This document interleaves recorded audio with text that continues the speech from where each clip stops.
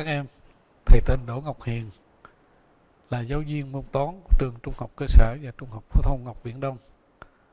Tiếp theo thầy sẽ giảng cho các em bài giải hệ phương trình bằng phương pháp cộng đại số.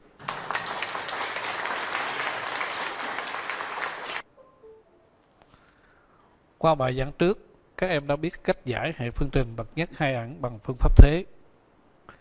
Ngoài việc áp dụng quy tắc thế để giải hệ phương trình, ta còn có thể áp dụng một phương pháp khác, đó là quy tắc cộng đại số.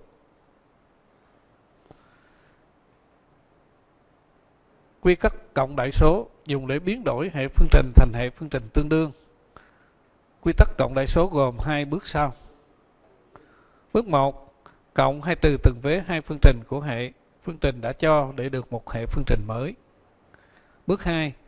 Dùng phương trình mới ấy thay thế cho một trong hai phương trình của hệ và giữ nguyên phương trình kia, thì sau khi thay thế vào thì chúng ta được một cái hệ phương trình mới, tương đương với hệ phương trình đã cho.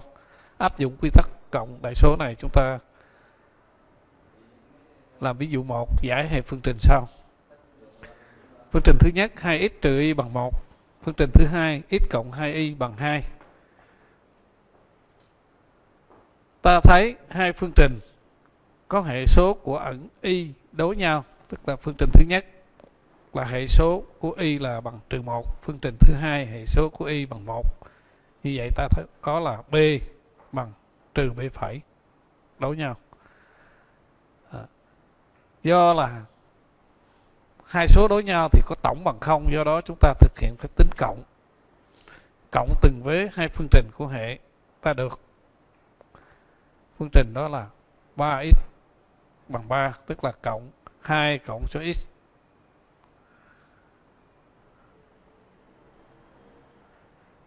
Hai cộng cho x 2x cộng 3 cho x thì bằng 3x trừ y cộng y thì bằng 0 1 cộng 2 thì bằng 3 ta được là 3x bằng 3 thay thế phương trình 3x bằng 3 vào phương cái phương trình thứ nhất thì ta diễn viên, cái phương trình thứ hai thì ta được một cái hệ phương trình mới. Hệ phương trình mới này tương đương với phương trình đã cho, như vậy chúng ta đã qua hai bước của quy tắc cộng đại số. Có được hệ phương trình tương đương này, tiếp tục chúng ta giải hệ phương trình bằng cách chúng ta tìm x ở phương trình thứ nhất. Vậy 3x bằng 3 thì suy ra x bằng 1 thay x bằng 1 hay là thế x bằng 1 vào phương trình 2 thì ta được là 1 cộng y bằng 2 cho nên chuyển 1 qua thì bằng là y sẽ bằng 2 trừ 1 thì bằng 1 vậy ta được. X bằng 1 y bằng 2 y bằng 1 là nghiệm của hệ phương trình. Vậy hệ phương trình đã cho có nghiệm duy nhất là cặp số xy bằng cặp số 1 1 bây giờ chúng ta tiếp tục là áp dụng quy tắc cộng đại số cho giải phương trình hệ phương trình sau. 2x cộng 2y bằng 6 2x trừ 3y bằng 1 à, chúng ta nhận xét ở hệ các hệ số của ẩn x ẩn y của hệ phương trình đã cho ta thấy. Hai phương trình có hệ số của ẩn x bằng nhau. À, phương trình thứ nhất hệ số a bằng 2 gặp phương trình thứ hai, hệ số a phẩy bằng 2 luôn. Như vậy là a bằng a phẩy. Hai số bằng nhau thì để mất đi giá cái thì trừ cho nhau sẽ bằng không. Do đó chúng ta áp dụng phép trừ trừ từng vế hai phương trình của hệ. Rồi thế cho phương trình thứ nhất và giữ nguyên phương trình thứ hai thì ta được hệ mới. Như sau. 2x trừ 2x bằng 0 2y trừ cho 3y tức là cộng cho 3y thì bằng 5y 6 trừ 1 thì bằng 5 tiếp tục giải hệ phương trình này. Ta có y sẽ bằng 5 chia cho 5 tức là y bằng 1 thế và thế y bằng 1 vào phương trình thứ hai là ta được 2x trừ cho 3 nhân 1 thì bằng trừ 3 trừ 3 chuyển sang vế phải cộng 3 cộng với 1 thì bằng cộng 4 như vậy ta được 2x bằng 4 tiếp tục à, ở phương trình 2 này à, 2x bằng 4 thì suy ra x sẽ bằng 4 chia cho 2 thì bằng 2 ta được x bằng 2 y bằng 1 chính là nghiệm của hệ phương trình. Về hệ phương trình đã cho có nghiệm duy nhất là x cặp số xy bằng cặp số 2 1 chúng ta nhận xét qua việc áp dụng quy tắc cộng đại số đối với hệ phương trình bậc nhất. Hai ẩn ax cộng bi bằng c, a phẩy x cộng b phẩy y bằng c phẩy. Nếu a bằng trừ a phẩy hoặc b bằng trừ b phẩy, thì ta cộng từng hái vế hai phương trình để chúng ta được cái phương trình bậc nhất một ẩn. Tức là chúng ta áp dụng cái bước một của quy tắc cộng đại số là thực hiện phép tính cộng. Nếu a bằng a phải hoặc b bằng b phải, thì ta trừ từng với hai phương trình để được một phương trình bậc nhất một ẩn, tức là chúng ta áp dụng bước một của quy tắc cộng đại số để được một phương trình bậc nhất một ẩn. Tiếp tục chúng ta thực hiện ví dụ 3 là giải hệ phương trình sau. Phương trình thứ nhất là 3x cộng 2y bằng 7 phương trình thứ hai là 2x cộng 3y bằng 3 bây giờ chúng ta nhận xét về hệ số của ẩn x và ẩn y của hai phương trình đã cho. Ở đây là a phẩy là bằng 3 a bằng 3 a phẩy bằng 2 như vậy, a khác a phẩy. B bằng 2 b phẩy bằng 3 như vậy, chúng ta thấy là b cũng khác b phẩy. Do đó, ta thấy hai phương trình có hệ số của ẩn là không bằng nhau hoặc là đối nhau. Bây giờ chúng ta áp dụng cái nhận xét vừa rồi để chúng ta thực hiện việc giải hệ phương trình và chúng ta áp dụng cái quy tắc cộng đại số để giải. Thì đầu tiên chúng ta phải biến đổi biến đổi cái hệ phương trình đã cho này thành một hệ phương trình mới hệ phương trình mới. Có hệ số của ẩn x hoặc hệ số ẩn y bằng nhau hoặc đối nhau thì chúng ta mới áp dụng được quy tắc cộng đại số. Bây giờ chúng ta thực hiện có thể thực hiện bằng bốn cách giống như cái phần nhận xét. À, đầu tiên chúng ta áp dụng cách một cách một chúng ta biến đổi hệ phương trình đã cho này thành một cái hệ mới này bằng cách như thế nào? À, ta biến đổi thành hệ phương trình có ẩn y bằng nhau. À, y bằng nhau ở đây là có là sau phương trình thứ nhất là 6y phương trình thứ hai cũng là 6y như vậy b bằng b phẩy đều bằng 6 à, vì sao có được hệ phương trình tương đương này? Thì ở phương trình thứ nhất ta nhân với 3 và phương trình thứ hai ta nhân với 2 đây cụ thể như sau. 3 3 nhân 3x thì bằng 9x 3 nhân 6y thì 3 nhân cho 2y thì bằng 6y 3 nhân 7 thì bằng 21 ở phương trình thứ hai 2x nhân 2 thì bằng 4x 3y nhân 2 bằng 6y 3 nhân 2 bằng 6 như vậy chúng ta đã thực hiện các phép biến đổi tương đương của phương trình để chúng ta biến đổi hai phương trình của hệ thành hai phương trình mới và tạo thành một hệ mới tương đương với hệ đã cho. Thì sau khi có cái hệ mới rồi thì chúng ta phải thực hiện áp dụng quy tắc cộng đại số để chúng ta giải hệ phương trình này. Ta thấy là b bằng b phải thì chúng ta thực hiện phép tính trừ trừ từng vế 9x trừ cho 4x thì bằng 5x 6y trừ cho 6y thì bằng 0 và 10 21 trừ cho 6 thì bằng 15 như vậy chúng ta được một cái phương trình mới ở bước 1 của quy tắc cộng đại số. Đó là 5x bằng 15 kết hợp với phương trình 2 thì chúng ta được một cái hệ mới tương đương với hệ đã cho. Ờ, từ cái phương trình này. Thứ nhất này, chúng ta tìm x x sẽ bằng 15 chia cho 5 thì được x bằng 3 x bằng 3 thế vào phương trình thứ hai thì 3 nhân cho 4 thì bằng 12 12 chúng ta chuyển sang phía phải thì thành là trừ 12 trừ 12 cộng 6 bằng trừ 6 như vậy, phương trình mới. Sau khi thế x bằng 3 vào thì ta rút gọn được là 6y bằng trừ 6 từ phương trình này thì suy ra y bằng trừ 6 chia cho 6 thì bằng trừ 1 như vậy. Ta có nghiệm là của hệ phương trình đó là x bằng 3 và y bằng trừ 1 bây giờ chúng ta ở cách 1 thì chúng ta biến đổi hệ số b bằng b phẩy. Tiếp theo chúng ta sẽ áp dụng cách 2 cách 2 thì chúng ta biến đổi b bằng trừ b phẩy. À, rõ ràng chúng ta biến đổi được thành một cái hệ mới tương đương với hệ đã cho. À, đó là có phương trình là có hệ có là y là 6y phương trình thứ nhất là có 6y phương trình thứ hai là trừ 6y như vậy là b bằng 6 và b phẩy bằng trừ 6 vậy b bằng trừ b phẩy. Lý do sao vì sao có được cái hệ phương trình mới này? À, là ta biến đổi thành hệ phương trình mới, có hệ số của ẩn y là đối nhau.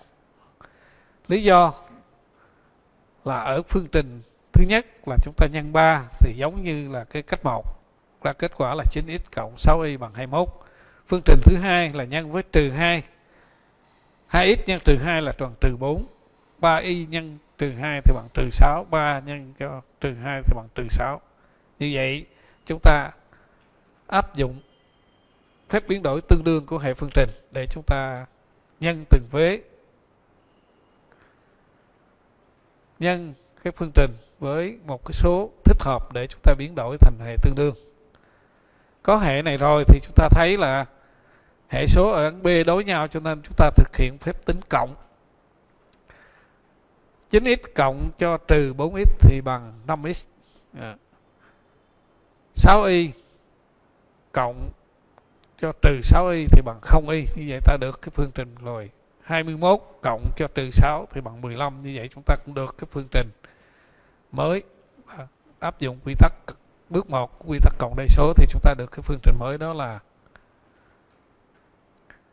trừ 5x cộng 15 kết hợp với cái phương trình thứ hai của hệ thì chúng ta được hệ mới tương đương với hệ đã cho.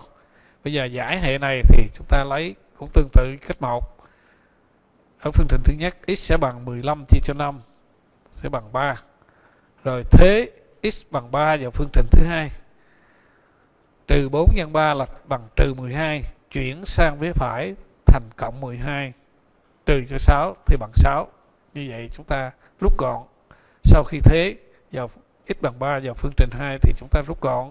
Cái phương trình 2 sẽ trở thành là trừ 6y bằng 6 từ đó suy ra y sẽ bằng 6 chia cho trừ 6 cũng bằng trừ 1 như vậy. Chúng ta cũng tìm ra được nghiệm của hệ phương trình là x bằng 3 y bằng trừ 1 tiếp theo bây giờ ở cách 1 và cách 2 chúng ta chỉ mới biến đổi hệ số của ẩn y cách 1 là bằng nhau, cách 2 là đổi nhau. Thì còn lại hệ số của ẩn x thì sao? Thì chúng ta tiếp tục áp dụng cách 3 như sau. Ta biến đổi cái hệ phương trình thành một cái hệ mới, có hệ số của ẩn x đối nhau. Chẳng hạn như chúng ta biến đổi thành cái phương trình, cái hệ phương trình là 6x cộng 4y bằng 14 trừ 6x trừ 9y bằng trừ 9 hệ này tương đương với hệ đã cho bằng cách như sau. Nhân hai vế của phương trình. Thứ nhất, cho 2 3x nhân 2 thì bằng 6x 2y nhân 2 bằng 4y 7 nhân 2 bằng 14 phương trình thứ hai nhân 2 vế cho trừ 3 2x nhân trừ 3 bằng trừ 6x 3y nhân trừ 3 thì bằng trừ 9y 3 nhân trừ 3 thì bằng trừ 9 như vậy là chúng ta áp dụng phép biến đổi tương đương của hệ phương trình để biến đổi một hệ phương trình thành một hệ phương trình mới tương đương với phương trình đã cho bằng cách nhân hai vế của mỗi phương trình với một số thích hợp. À, đối phương trình thứ nhất là nhân cho 2 phương trình thứ hai là nhân cho trừ 3 có hệ phương trình này rồi thì chúng ta thấy hệ số của ẩn x của phương trình thứ nhất là bằng 6 tức là a bằng 6 a phải thì bằng trừ 6 như vậy a bằng trừ a phẩy, tức là a và a phẩy đối nhau, thì chúng ta thực hiện phép tính cộng theo bước 1 của quy tắc cộng đại số. Vậy 6x cộng cho trừ 6x thì bằng 0x 4y cộng cho trừ 9y thì bằng trừ 5y 14 cộng cho trừ 9 thì bằng 5 như vậy chúng ta có phương trình mới, đó là trừ 5y bằng 5 kết hợp với phương trình thứ hai của hệ thì ta được một cái hệ mới, tương đương với hệ đã cho gồm hai phương trình trừ 5y bằng 5 phương trình thứ hai là trừ 6x trừ 9y bằng trừ 9 từ phương trình thứ nhất này, chúng ta tìm được y sẽ bằng 5 chia cho trừ 5 thì bằng trừ 1 thế y bằng trừ 1 vào phương trình thứ hai là trừ 9 nhân cho trừ 1 thì bằng cộng 9 chuyển sang với phải thành trừ 9 trừ 9 cộng với trừ 9 thì bằng trừ 18 như vậy, sau khi thế y bằng trừ 1 vào phương trình 2 và chúng ta rút gọn được phương trình đó là thứ hai. Đó là phương trình rút gọn là trừ 6x bằng trừ 18 từ đó chúng ta suy ra x sẽ bằng, x sẽ bằng trừ 18 chia cho trừ 6 thì bằng 3 và y bằng 1 chính là nghiệm của hệ phương trình đã cho. À. như vậy vừa rồi ở cách 3 chúng ta biến đổi là hệ số của ẩn x là đối nhau. Tiếp theo cách 4 là chúng ta biến đổi hệ phương trình đã cho. Có hệ số của ẩn x bằng nhau. À, tức là chúng ta đã biến đổi hệ phương trình đã cho này thành hệ phương trình 6x cộng 4 y bằng 14 yeah, 6x cộng 3y bằng 9 à, lý do là chúng ta biến đổi cái hệ phương trình này bằng cách như sau.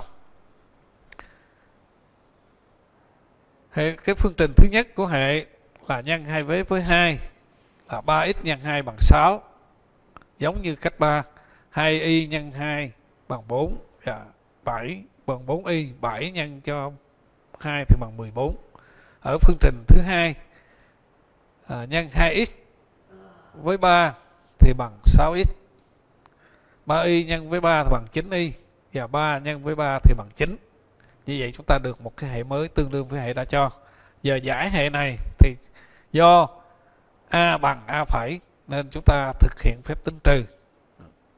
Trừ từng vế thì 6 x trừ 6x thì bằng 0x 4y trừ cho 9y thì bằng trừ 5y 14 trừ cho 9 thì bằng 5 như vậy chúng ta áp dụng bước 1 của quy tắc cộng đại số để được một cái phương trình mới là cộng từng vế của hai phương trình của hệ thì được phương trình mới đó là trừ 5y bằng 5 kết hợp với phương trình 2 của hệ đó là 6x cộng 9y bằng 9 ta có hệ phương trình mới tương đương với hệ phương trình đã cho.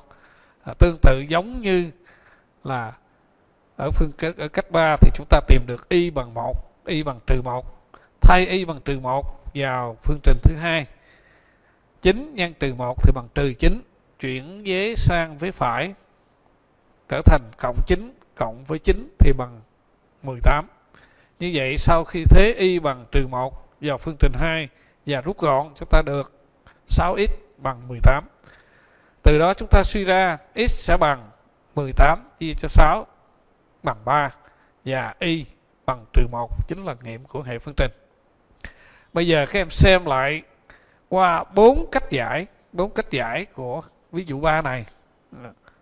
Các em xem coi là kết quả cuối cùng là bốn nghiệm của hệ phương trình này có giống nhau hay không?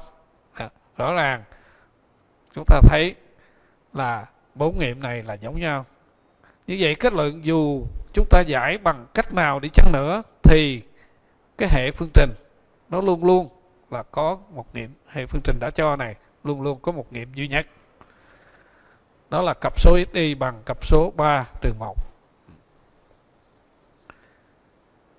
tóm lại, thì ở bài giảng này các em cần lưu ý là chúng ta nắm được là ba cái nhận xét là thầy đã hướng dẫn cho các em. Mà, và chúng ta lưu ý là ở bài cỡ bài giảng trước và cái quy tắc cộng đại số để áp dụng vào việc giải hệ phương trình và tóm tắt cái cách giải hệ phương trình bằng phương pháp cộng đại số như sau một là nhân hai vế của mỗi phương trình với một số thích hợp nếu cần tức là ở ví dụ 1 và ví dụ 2 thì chúng ta không cần thực hiện cái thao tác thứ nhất này à. mà nhưng ở ví dụ 3 thì chúng ta phải nhân thành bốn cách, cả bốn cách thì chúng ta đều nhân với các số thích hợp. Sao cho các hệ số của một ẩn nào đó trong hai phương trình bằng nhau hoặc đối nhau, tức là sẽ biến đổi làm sao cho là a bằng a phẩy hoặc a bằng trừ a phẩy hoặc b bằng b phẩy hoặc b bằng trừ b phẩy rõ ràng, cái thao tác này chúng ta vừa thấy rõ ở cái ví dụ 3 các em vừa là học qua cái bước thứ hai là chúng ta áp dụng quy tắc cộng đại số để được hệ phương trình mới. Trong đó có một phương trình mà hệ số của một phương trình một trong hai ẩn bằng không. À, tức là phương trình có một ẩn. À, như vậy nếu mà không ít bằng là không ít thì chúng ta có thể bỏ cái ẩn x này thì còn lại ẩn y. Còn nếu bằng không y thì chúng ta bỏ cái ẩn y thì còn lại là ẩn x cho nên phương trình mới này nó trở thành cái phương trình, một ẩn. X hoặc là một ẩn y. Tiếp theo thì chúng ta, để giải tiếp thì chúng ta giải cái phương trình một ẩn vừa thu được ở cái bước 2 rồi suy ra nghiệm của hệ phương trình đã cho. Đó là tóm tắt ba bước giải của hệ phương trình bằng phương pháp cộng đại số. Nhưng trong thực tế thì có những bài chúng ta áp dụng cả ba bước này nhưng có những bài chúng ta chỉ áp dụng bước 2 và bước 3 à, do các hệ số nó đã có một trong bốn trường hợp bằng nhau hoặc đối nhau rồi. À, chẳng hạn như ở ví dụ 1 và ví dụ 2 riêng là đối với những hệ phương trình mà phức tạp chưa có hệ số nào bằng nhau hoặc đối nhau thì chúng ta mới thực hiện đủ cả ba bước này. À, khi các em áp dụng thì các em cần lưu ý chúng ta lưu ý. À, mong rằng thì qua cái việc hướng dẫn như này thế này thì các em sẽ áp dụng thực hiện và giải được tất cả các bài sách trong bài tập trong sách giáo khoa và trong sách bài tập. Ngoài ra các em có thể áp dụng để giải các bài tập trong các tài liệu tham khảo à.